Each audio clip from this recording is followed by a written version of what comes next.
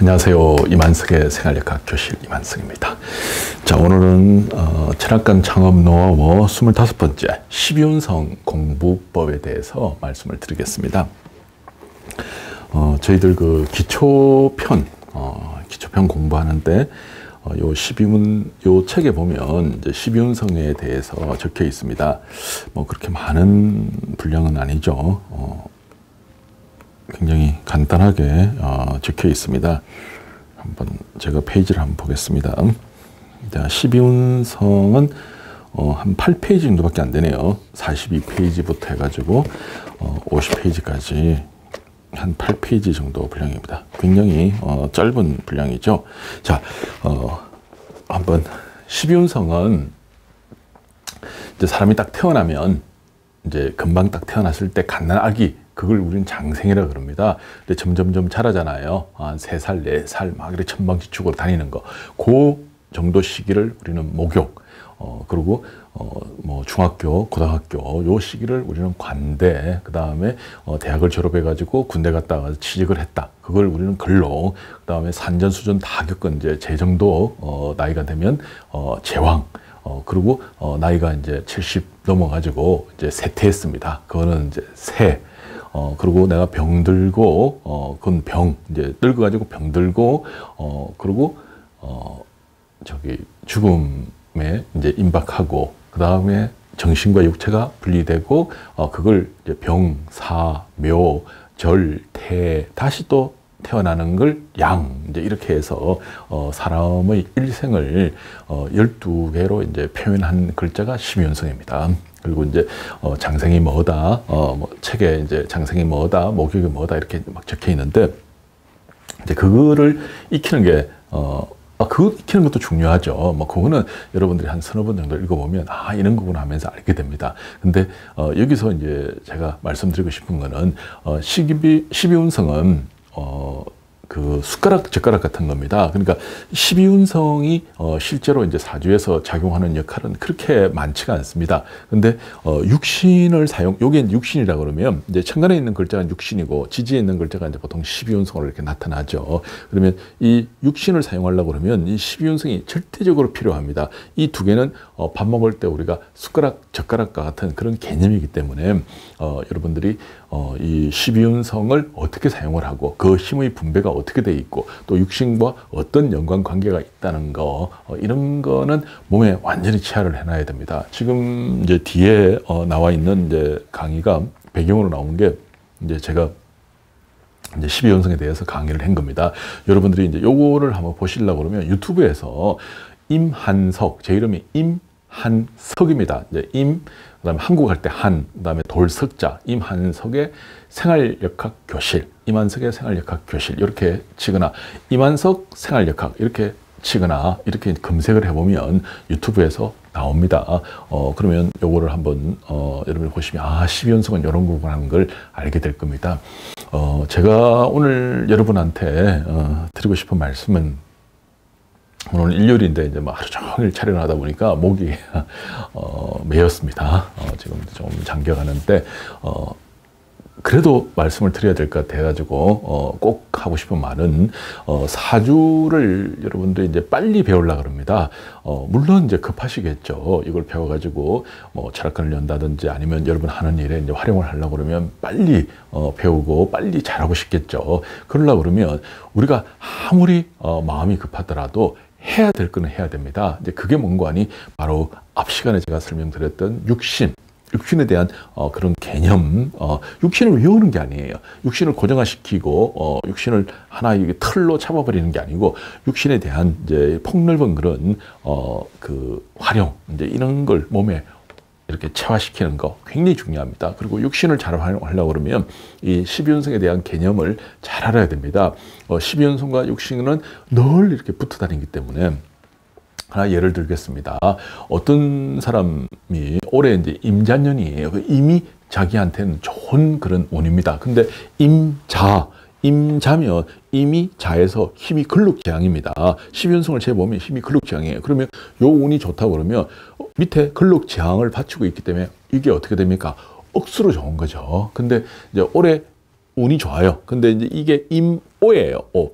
이미 5에서 12운성의 힘이 절대예요. 절대. 그럼 절대 같으면 이게 좋은데 얼마나 좋겠습니까? 절대 힘이 잘린 거죠. 잘리니까 어, 점이 좋다. 이렇게 보면 됩니다. 그래서 똑같이 좋은 임을 만났다 그래도 그 밑에 12연성이 뭐가 있느냐 따라 가지고 어, 억수로 좋고 어, 쪼깸 좋고 이렇게 이제 차이가 나는 겁니다. 이거 외에도 어, 12연성은 어, 약방의 감초처럼 오만 때만데 다 사용을 합니다. 그러니까 지 자체적으로는 큰 뭐 이렇게 비중이 있는 건 아닌데 육신을 활용할 때 뭐 나머지 이제 그 이렇게 뭐 형충파해라든지 그 다음에 식간론을 활용할 때 물상론을 활용할 때 이 12연성이 콕 오만 때만데 감초처럼 다 들어갑니다. 우리가 그 양념할 때 이제 그 이렇게 뿌리는 이제 그런 양념처럼 이게 들어갑니다. 그래서 어 그 활용법을 여러분들이 익히는 게 어 굉장히 중요하다고 생각합니다. 이제 그래서 어 여러분들이 사주를 빨리 잘하고 싶으면 이 12 운성에 대한 개념 그 활용법 어, 이거는 그래 어렵지 않습니다. 그걸 빨리 일으키는 거하고 두 번째 육신에 대한 어, 그 개념을 몸에 완전히 체화시키는 거. 그 다음에 식간 가벌 병력 무기 정신인 게 이게 어, 하나 하나의 그 뜻. 그 다음에 갑이 갑을 만났을 때, 갑이 을을 만났을 때, 갑이 병을 만났을 때, 그 누구를 뭘 만났을 때 그 어미. 그 다음에 갑이 봄에 갑일 때, 여름에 갑일 때, 가을에 갑일 때, 겨울에 갑일 때, 그 다음에 병이 봄에 병일 때, 여름에 병일 때, 가을에 병일 때 다 그 힘들이 달라집니다. 와 이게 억수로 복잡다 그러는데 절대 안 복잡습니다. 그래서 어, 그에 대한 개념이, 어, 여기, 이게 기초반 책입니다. 기초반에, 어, 굉장히 자세히, 뭐, 제가 오늘 한 번 더 훑어봤는데, 정말 자세히 적혀 있습니다. 그래서 이제 이거를, 어, 여러분들이 소리 내어 가지고 충분히 읽고, 어, 입에 이렇게 다 익어야 됩니다. 줄줄줄줄 이렇게 읽어야 되고 어, 한열번 정도 읽고 그 다음에 그거를 어, 중요한 내용들은 또 메모를 해가지고 스마트폰으로 꼭 녹음을 하세요. 어, 녹음을 하고 또 그걸 심심하면 여러분들이 들어야 됩니다. 이걸 어, 이런 이제 노력들 이걸 저는 체화 라고 그럽니다. 몸에 완전히 익히는 겁니다. 체화를 시켜야 됩니다. 이거 하는데 시간 그렇게 많이 안 걸립니다. 하루에 한 번씩만 들어보면 어떻게 됩니까? 어, 뭐, 석 달 정도 들었다고 100번을 듣게 되는 거죠. 100번 들으면 어지간한 거는 다, 어, 여러분 몸에 체화가 됩니다. 제가, 음, 사실은 넘칩니다. 제가, 그러니까 노래를 잘 못 불러요. 사람들이, 어, 어, 제 노래 부르는 거 보면 막 기겁을 합니다. 그래서 이제, 어, 이제, 노래를 한번 듣는 사람들은 안 시키려고 그러죠. 옛날에 어, 했는데 어, 제가 이제 어느 날 사회생활을 하다 보니까 뭐 노래방도 한번 가게 되고 그리고 또 노래도 이렇게 좀 부르게 됩니다. 한 곡만 부르는 게 아니고 또 한 곡 부르면 또 뭐 한 곡 더 불러야 되죠. 그래 기본 세 곡은 있어야 되겠더라고요. 뭐 이제 한 곡 부르고 앵콜 받고 그리고 이제 끝날 때쯤 돼서 마감으로 또 한 곡 더 불러야 되니까 그래서 어 제가 이제 뭐 사실은 엄치예요. 엄치인데 어, 어떤 이제 특정한 노래를 굉장히 연습을 많이 했습니다. 아주 연습을 해가지고 어 이제 또 부르고 부르고 듣고 이제 처음에는 이제 그걸 이렇게 그 노래를 계속 들었죠. 계속 듣다 보니까 허능을해지는 거예요. 어, 해지다 보니까 이제 혼자서 좀 한번 연습을 해봤습니다. 뭐 어째 어째 좀 해봤습니다. 그리고 또 이제 노래 연습장 가가지고 또 혼자 잡고 한번 또 해봤습니다. 이래가지고 한 곡을 어, 굉장히 연습을 많이 해가지고 어느 날 부르니까 그게 됩니다. 그래 자신을 얻고 어, 한곡 더 연습했습니다. 그리고 또 한 곡 더 연습했. 지금은 제가 다른 노래는 잘 못하는데 세 곡은 어, 조금 합니다. 사람들이 부르면 와 뭐 이러거든요. 그건 피나는 노력을 해가지고 연습을 해가지고 잘하게 된 겁니다. 그래서 여러분들이 사주팔자 잘하고 싶으면 세 곡은 잘해야 됩니다. 세 곡이 뭔가 하니 바로 이 십윤성 그 다음에 육신, 그리고 식간론, 자벌병정 무기정신이 하는 거. 이 세 개는 사실은 전부 기초편에 나와 있습니다. 이제 역학 배우는 기초에 나와 있는데 이거를 사람들은 소홀히 합니다. 그리고 막 그 저기 뭐 이렇게 비법이니 뭐니 해가지고 막 통변 거기서 막 뭘 찾는데 이거 기초 잘하는 게 사실은 90%입니다. 이걸 잘하면 나머지는 어 다 이렇게 어느 정도 나머지는 한 10% 정도밖에 비중이 안 됩니다. 그래서 기하고 뭐 신기하고 비법이니 그걸 쫓지 마십시오. 그거는 헛꿈이라고 여러분들 생각하면 됩니다. 그래서 그거가 이제 그 이론들 이제 통비에 나오는 이론들이 실제 사주에서 적용되는 경우는 한 10% 정도밖에 적용이 안 됩니다. 나머지 90%는 어, 방금 말한 이 12연성, 육신, 그리고 식간론 어, 이거의 그 개념 이것만 해도 여러분들은 어떤 사주든지 줄줄줄 이야기할 수 있습니다. 90% 정도는 대부분 다 이거 가지고 다 통한다고 여러분들 보시면 됩니다. 그리고 정말로 어 뭐 이렇게 그 저 뭐 신기하고 어쩌고 하는 거는 그런 어쩌다 한 번씩 만나는 거예요. 그래서 그런 거는 어 여러분들이 어 따로 천천히 공부하면 돼요. 우선 어느 정도 되고 난 뒤에 어느 정도 잘하고 난 뒤에 남은 거 보면서 뭐 조금 아는 척하고 야 좀 잘 보내 뭐 이러면서 이런 말 들어가야지 그런 말 들어야지 어떻게 됩니까? 기분이 좋아가지고 공부 더 하고 싶죠. 근데 하는 것보다 더 막히고 하는 것보다 깜깜하고 이래버리면 공부할 용기가 안 생깁니다. 그래서 어 요거가 기초 기초 맞습니다. 기초지만 어, 이 기초를 어, 여러분들이 아까 제가 엄치지만 노래 세 곡 열심히 해가지고 그건 잘 부르는 것처럼 이 세 개라도 어, 여러분들이 잘 해보십시오. 이 세 개만 어, 여러분들이 소리내서 읽고 어, 녹음해가지고 하루에 한 번씩 들으십시오. 그래가지고 100번만 한번 들어보십시오. 그러면 줄줄줄줄 그냥 나오는 거예요. 예. 이 그냥 말이 그냥 저절로 나옵니다. 뭐 줄줄줄. 그러면 사람들은 어, 뭐 많이 아는 것처럼 이렇게 보이는 거죠. 어, 여러분들이 어, 역학 공부 이거 다 하려고 그러면 진짜 100년에도 안 됩니다. 100년에도 내가 될동말동 하는 공부를 뭐 어떻게 여러분들 평생 공부만 할 겁니까?